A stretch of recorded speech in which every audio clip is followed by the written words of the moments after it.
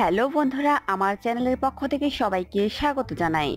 বন্ধুরা, আজ আমি আপনাদের সাথে শেয়ার করব মহিলাদের অনিয়মিত মাসিকে নিয়মিত করার ঘরোয়া পদ্ধতি।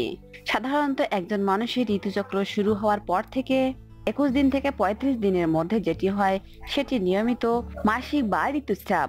আর যদি একুশ দিনের আগে বা পঁয়ত্রিশ দিনের পরে হয়, সেটিকে অনিয়মিত ঋতুস্রাব বলা হয়। তো বন্ধুরা, আসুন অনিয়মিত ঋতুস্রাব হলে কি কি সমস্যা হয় তা জেনে নিন।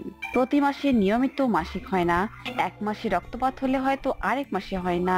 অনেকের ক্ষেত্রে এটি দুই তিন মাস পর পর হয়ে থাকে। ঋতুস্রাব, বেশি সময় ধরে হয়, আবার কখনো অল্প রক্তপাত হয়। আবার কখনো বেশি হয়। এতে সন্তান ধারণ ক্ষমতা হ্রাস পায় এবং অনাকাঙ্ক্ষিত গর্ভধারণও হতে পারে। এছাড়া মেজাজ খিটখিটে থাকা এবং অস্বস্তি বোধ তৈরি হয়। চোখের নিচে কালো দাগ পড়ে যায়। তলপেটে ব্যথা অনুভব হয়। গ্যাস, অম্বল বা বদহজম হতে দেখা যায়। এছাড়াও কারও ক্ষেত্রে মাথা ভারী হয়ে থাকে ইত্যাদি সমস্যা দেখা যায়। তো বন্ধুরা, আসুন তাহলে আমরা জেনে নেই কীভাবে ঘরোয়া উপায়ে আপনারা এই রোগ থেকে মুক্তি পেতে পারেন। বন্ধুরা, ভিডিওতে যে জবাটি দেখছেন, এই জবার নাম পঞ্চমুখী জবা।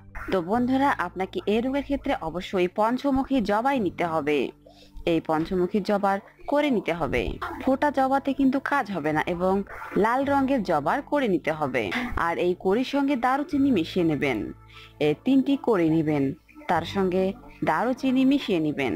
দারুচিনি মিশিয়ে একটি শরবত তৈরি করবেন। আর এই শরবত তৈরি করে প্রতিদিন সকালবেলা খেতে হবে। অন্তত পনেরো থেকে বিশ দিন খেতে হবে। এভাবে নিয়মিত খেলে আপনি বেশ ভালো উপকার পাবেন। তো বন্ধুরা, আশা করছি ভিডিওটি আপনাদের ভালো লেগেছে। ভিডিওটি ভালো লেগে থাকলে লাইক এবং শেয়ার করুন। পাশাপাশি আমাদের চ্যানেলটি সাবস্ক্রাইব করুন এরকম আরও নিত্য নতুন স্বাস্থ্য টিপস পেতে। ধন্যবাদ সবাইকে।